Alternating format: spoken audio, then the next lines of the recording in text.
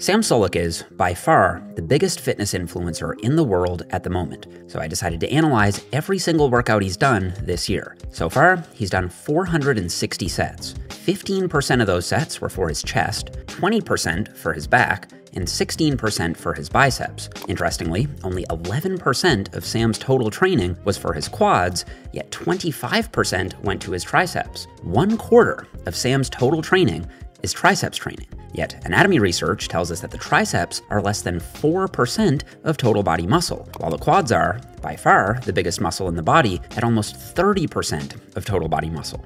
Also, Sam trains to failure 96% of the time, but almost all of his sets not taken to failure were for his forearms. So if we ignore the forearm work, fully 98% of Sam's training was done all the way to muscular failure. I also examined the range of motion he used on every set, the most common rep range he used, and using all this information, in this video, I'm going to provide the most analytical, science-based critique of Sam Sulek's training on the internet. I'm going to do that by highlighting three good things that you should definitely apply to your own training, and three bad things that I think are either a waste of time or will give you suboptimal results. Now, I'm going to start with the bad stuff, but keep in mind that I will be going over the good stuff as well, and there's one thing in particular that I think Sam does better than any fitness influencer that I'm aware of, and I'll get to that later in the video. First, after watching days worth of Sam Sulek videos, the first thing I noticed is that his technique could be better. Sam is obviously a big proponent of what he calls ego lifting, which is when you simply try to move the weight, allowing yourself to swing and sway rather than being really strict with your form. And Sam definitely does more than his fair share of cheat reps. Now, I would say that I'm actually less of a technique junkie than most science based coaches. I think that you can still get solid gains with so called bad form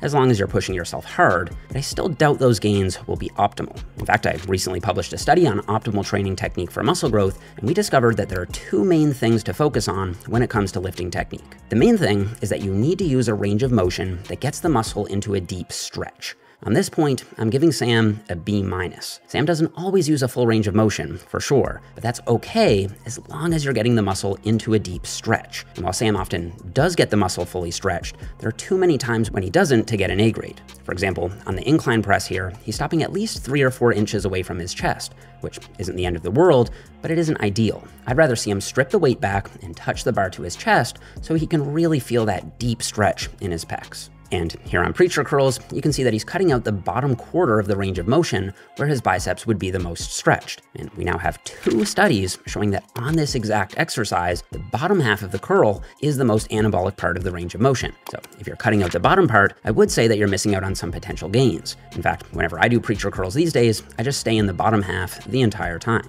The other thing we found in our study is that it's important to control the negative rather than just letting the weight free fall. So when it comes to controlling the negative, Sam gets a B+.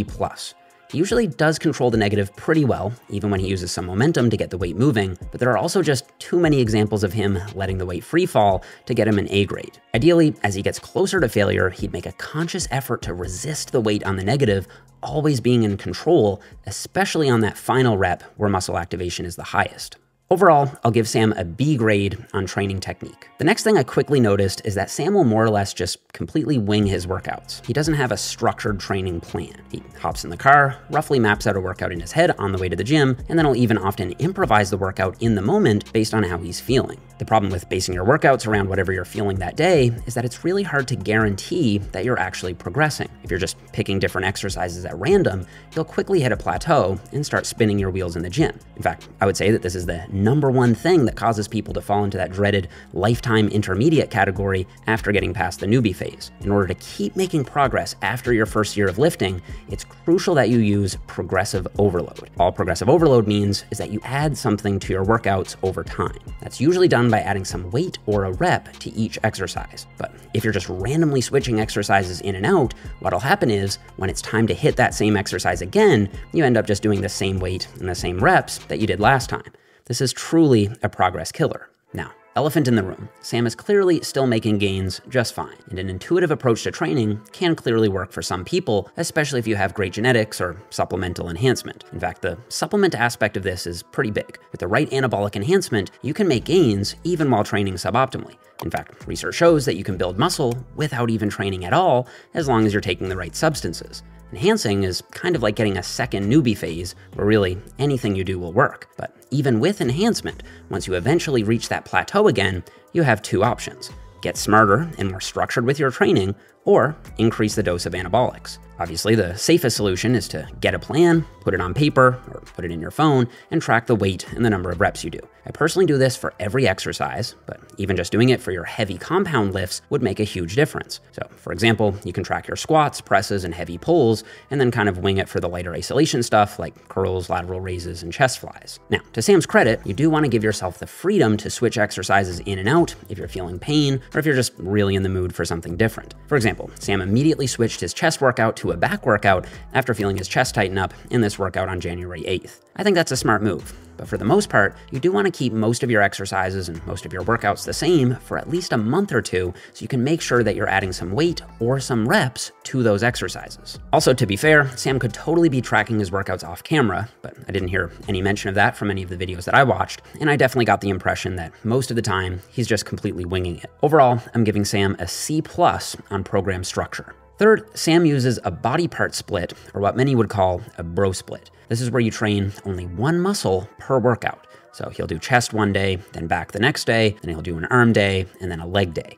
There's two main issues with this. First, as you can tell, it ends up being very disproportionate in terms of how much volume each muscle gets. So far this year, Sam has done 113 sets for his triceps and only 9 sets for his calves, and just 6 sets for his glutes and his tricep volume is more than double his quad volume, despite the quads being eight times bigger. Now, Sam has said that he's trying to focus on his triceps right now, but this is fairly normal for a bro split because you have at least three upper body days for every one leg day. Yet, from an anatomical standpoint, your legs have way more total musculature than your upper body, and it's not even close. So, unless you already have great leg genetics, your legs may start to lag behind on this split. There's also an issue with junk volume. In this workout from January 21st, Sam did 13 sets for his chest, plus two drop sets. But the best studies tell us that you tend to max out the amount of growth that you can get for a single muscle somewhere around 6 to 8 sets per workout. So after you've done 6 to 8 sets for a single muscle in one workout, any more sets that you do after that probably aren't doing much. This is why some people call it junk volume. So rather than wasting all that energy doing 13 sets in one workout for one muscle, I'd suggest splitting that volume in half and putting six sets on one day and seven sets on another day. Now, it's possible that because Sam is just so big, he can use more volume in a single workout than you or me. And I guess it's worth mentioning that probably 90 plus percent of IFBB pros do follow the same split as Sam. So it could be that if you get to that unnaturally high level of muscular development, the rules change, or that with enough enhancement, the rules don't really matter anymore. That said, when I spoke with Dr. Mike Israetel about this, someone who I'd consider an expert on both the natural and enhanced side of bodybuilding, he said that enhanced guys would also be better off following a more science based training split. That could be a push pull leg split, or an upper lower split, or even a full body split. I think that those are all better options for the vast majority of people, again, because they allow for a more even distribution of your volume across your body, and they're less likely to lead to so called junk volume. Overall, I'm going to give Sam a C plus on his training split. Okay, let's dig into the good stuff. First, to his credit, Sam trains very hard. This is extremely important if your goal is to maximize muscle growth beyond the beginner stage. And I do think that simply training hard is more important than any of the previous stuff I talked about. You can optimize everything else on paper. If you don't push your sets hard, it doesn't really matter. That said, too much of a good thing can be bad. And in this case, I think it might be. Sam goes to failure a little too much for my taste. Like I said, Sam has done 460 sets so far this year, and 440 of them were all out sets to failure. I do think most people would run into recovery issues with that much failure training. For me, only about 30% of my training is taken to failure. I usually do three sets per exercise, and I'll take the last set all the way to failure. On my first two sets, I leave one or two reps in the tank. Keep in mind, one or two reps in the tank is still very hard training. I see people leaving 10 plus reps in the tank all the time at my gym, even serious dedicated bodybuilders. But yeah, I think a combination of failure and non failure training is smarter than just going to failure all the time. That way, you still regularly get to remind yourself what failure feels like, but you're not doing it so much that it hurts your recovery. But even though he does take it a bit too far, in my opinion, I'm still counting Sam's high effort as a good thing because he seems to genuinely enjoy failure training. He does seem to be recovering from it for the most part, and even though he has had a few injuries, it's hard to say if that's due to failure training per se, or the super high loads that he's using, or something else. So, even though I'd personally tone back on it, failure training is still far better than sandbagging your workouts and not putting any real effort in. So, given his preference for failure training and what seems to be adequate recovery, I'm gonna go ahead and give Sam an A grade on effort. The second good thing is that Sam uses smart rep ranges. When I analyzed the number of reps he did on every set, this was how it broke down. 11% of his sets were in the 0 to 3 rep range, 40% in the 4 to 7 rep range, another 40% in the 8 to 12 rep range, and 9% was above 13 reps. So clearly the majority of his training is coming from a moderate rep zone from 4 to 12 reps, and for hypertrophy, I think this is great. All rep ranges can, in theory, lead to similar muscle growth. However, doing too much high reps can be very exhausting, and doing too much low reps may give you unnecessary joint strain. I think I do a little more high rep work than Sam does, just because there are studies showing that using a variety of rep ranges is better than only doing one rep range. But overall, this is pretty bang on for someone whose main goal is muscle growth.